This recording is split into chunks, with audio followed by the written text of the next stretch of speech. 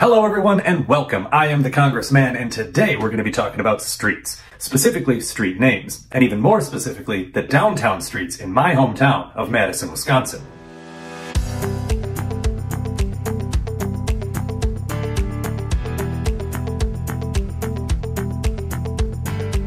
The year was 1829, and a man called James Doty purchased 1,200 acres of land on an isthmus between Lakes Monona and Mendota. At the time, this was part of the Michigan Territory, but when Michigan applied for statehood in 1836, the Wisconsin Territory was formed, and it needed a capital.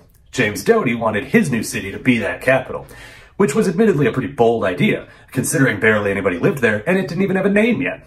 But, conveniently, former President James Madison died June 28, 1836, so Doty named his city Madison. There's probably an alternate timeline where Madison doesn't die in 1836, and so nowadays the capital of Wisconsin is like Dotyville or Dotyland or Dotytown. I like Dotyville. Also, quick side note. So you know how former presidents John Adams and Thomas Jefferson both died July 4th, 1826? the 50th anniversary of the Declaration of Independence. You know. Anyway, James Monroe died July 4th, 1831, exactly five years later. So, here we are, 1836. James Madison dies June 28th. He couldn't hold on for six more days? I mean, that would have been neat, right? And then, like five more years later, it's 1841, we're approaching July 4th. Everybody's going to keep a real close eye on John Quincy Adams. Anyway, what was I talking about? Right, streets. So, Madison, Wisconsin was a real city now. Sort of. I mean, it had a name, had a few dozen people, and uh, a founder, this guy, who wanted it to be the new capital. But James Doty knew that his city needed something else, something to, to catch people's attention, really set it apart. And that's when it hit him. The streets. Just like he named the city itself after a founding father, he could name the streets after founding fathers too. It was brilliant. I mean, the streets didn't exist yet, but that's okay. He didn't need real streets. He just needed a map of the streets. So he sat down and designed this grid and named all of the streets after men who had signed the Constitution. And they were Gunning Bedford Jr., John Blair, David Brearley. Now, his name was actually spelled with an EY at the end, but this was a fairly common misspelling, so we'll give Doty a pass on this one. There's another one coming up that's um, a bit more intentional. Jacob Broom, John Dickinson, Benjamin Franklin, Nathaniel Gorham, Alexander Hamilton, John Hancock, James McHenry. So, Doty went with just Henry Street for this one. None of the sources I used for this video specified a reason for the change, but it's not too hard to hazard a guess. See, James McHenry originally came from Ireland. James Doty was naming these streets in 1836. Irish immigration, 1830s... Mm, not that hard to figure it out. Jared Ingersoll. Daniel of St. Thomas Jenifer. This was actually his full real name. His whole family, going forward and backward multiple generations, is full of lines like this, where you have two male siblings, and one of them is called Daniel, and the other one is Daniel of St. Thomas. It's like Daniel was the only name they knew. Imagine trying to get somebody's attention at the family reunion. William Livingston. Thomas Mifflin. He was a devout Quaker whose name is now synonymous with an annual block party. So that's neat. James Wilson. And finally, George Washington, who got the main primary street because of course he did. Now, you're probably saying to yourself, this is all really interesting and everything. Thanks, I thought so too. But what in the world does it have to do with Congress? Well, so far, nothing. But that's where the remaining names come in. See, of all the men in this picture that James Doty used to name his streets, 16 of them went on to serve as senators or representatives in the new nation's Congress once it got up and running in 1789. So, let's talk about them. Abraham Baldwin was a founder of the University of Georgia. He was a representative from 1789 to 1799 and a senator from 1799 until he died in office in 1807. He also has a street named after him in Athens, Georgia, right near the stadium of the Georgia Bulldogs football team. In fact, some stories have said that the reason Georgia's mascot is the Bulldogs is a tribute to Baldwin, who had attended Yale, whose teams are the Bulldogs.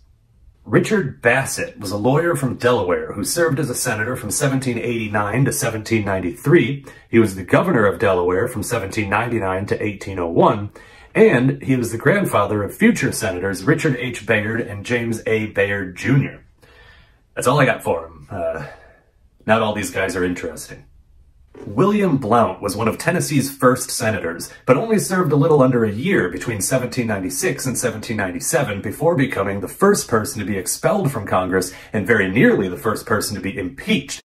There's a difference, so I'll try to make this brief. When the new nation was formed, President Washington named William Blount to be governor of the Southwest Territory, which was the area left behind after North Carolina became a state. After six years of territorial status, this area formed into the state of Tennessee, and when that happened, William Blount was elected to be one of its first senators. Two hours later. He and his brothers were dabbling in land speculation, and when I say dabbling, I mean diving cannonball style into the deep end. By some accounts, they had accumulated up to two million acres by 1795.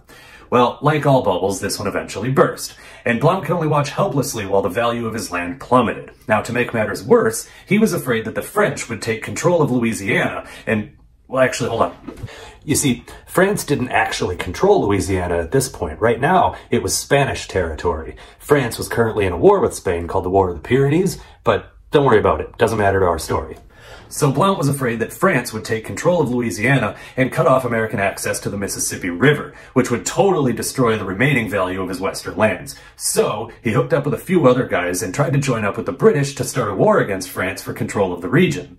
His downfall was that he put all this information in a letter, and that letter fell into the wrong hands, which made its way up the chain and landed on the desk of President John Adams, who sent it to the Senate. There, the letter was read aloud while Blount was out for a walk. He came back to hear it and was stunned. After much hand-wringing and gnashing of teeth and even some fisticuffs, Blount was immediately expelled from the Senate and the House voted to hold an impeachment trial. Ultimately, the impeachment vote failed, but Blount was already gone anyway. He didn't even attend the trial, but his legacy does live on today with his street in Madison, Wisconsin.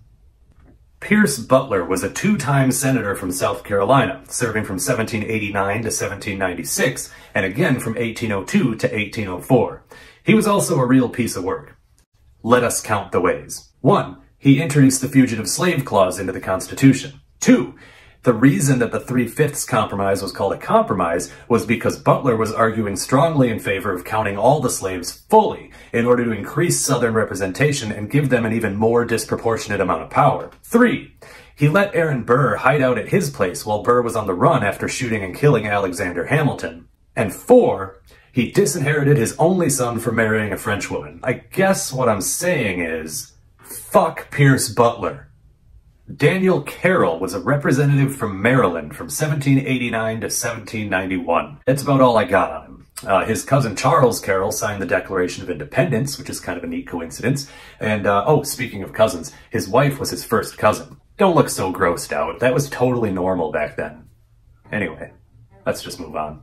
Jonathan Dayton was a representative from New Jersey from 1791 to 1799, including a four-year stretch as Speaker of the House. He was also a senator from 1799 to 1805. So this is another story of land speculation, conspiracy, intrigue. Okay, not so much, but Dayton was super into land speculation. He had about 250,000 acres in what would eventually become the state of Ohio. They even named a city after him there. But in 1807, when Aaron Burr's treason conspiracy was uncovered, they determined that Dayton had been giving Burr money, which Burr used to advance his plans. Dayton was actually arrested, but a grand jury decided that he didn't know what Burr was doing, and he wasn't involved in the plot. But in the eyes of the public, he was guilty by association, and his national political career was over. But he has one of the longest streets in Madison, so there's that.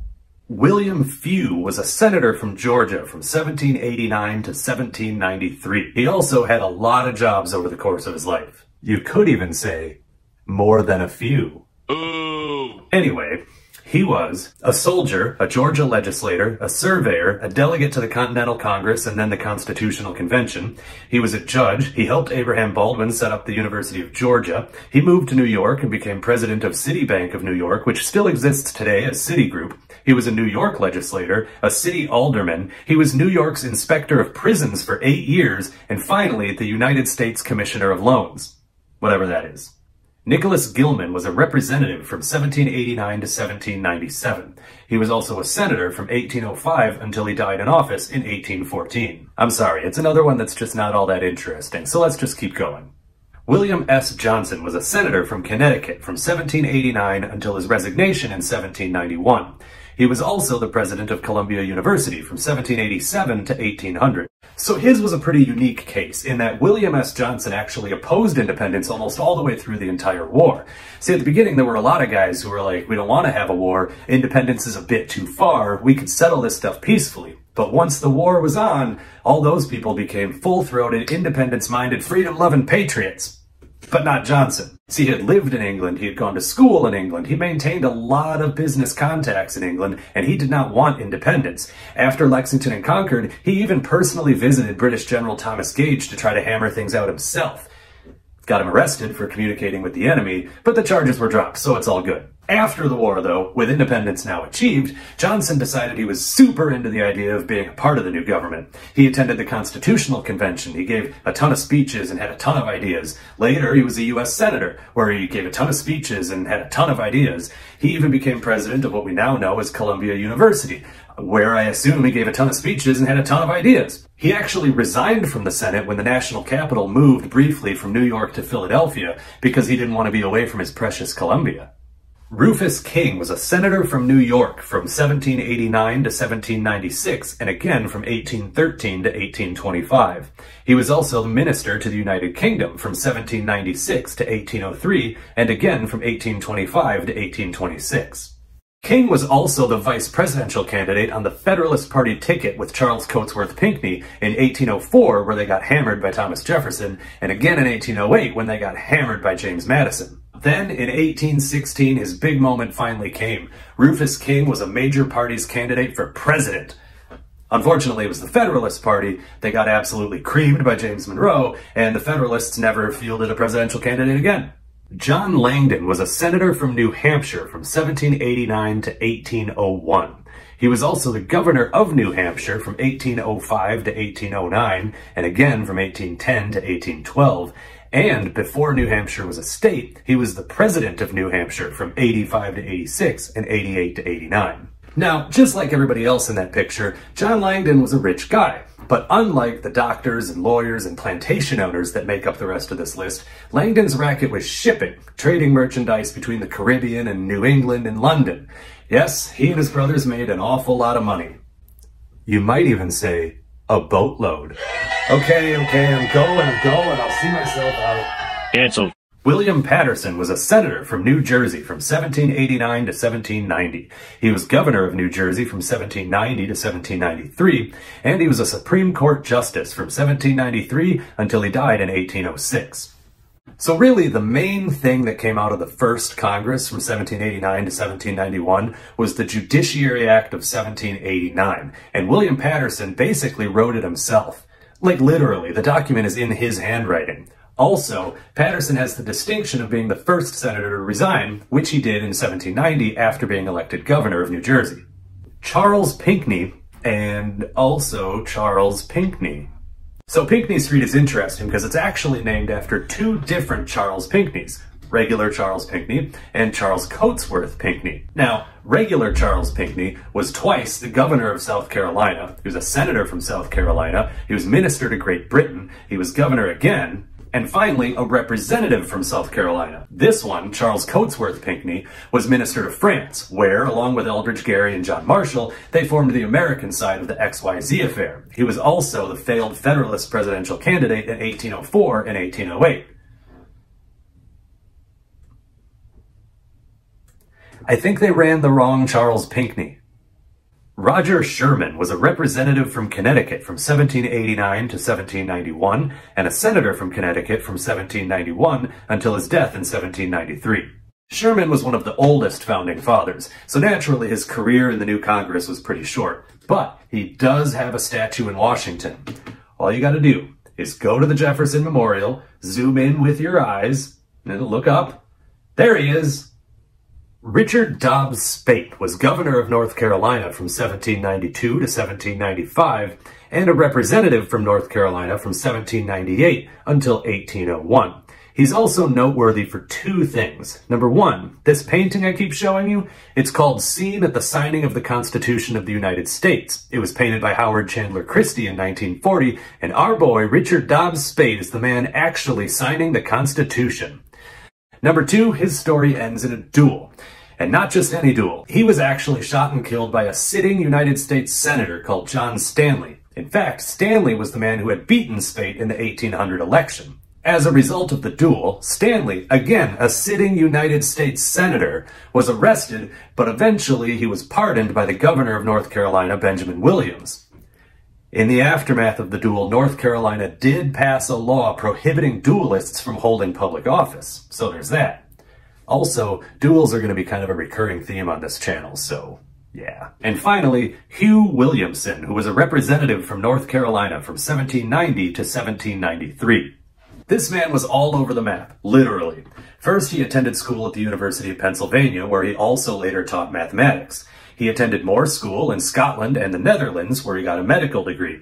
He bounced back and forth between the colonies in England and the colonies in England. He witnessed the Boston Tea Party, and when he got back to England again, he actually had to testify before Parliament as to just what the hell was going on over there.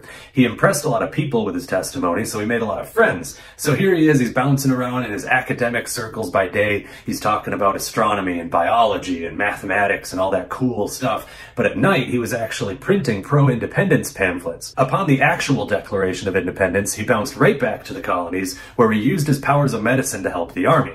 He introduced the concept of preventative care to prevent disease outbreaks. He talked about this crazy thing called inoculation. In fact, he was so good at ingratiating himself into pretty much any group of people, combined with his time in America and England, at different times, different groups accused him of both spying on Benjamin Franklin for the British and spying on the British for Benjamin Franklin. I can only hope to be that cool. And that was it. James Doty had all of his streets named and his downtown designed. And you know something? It worked. Madison became the territorial capital.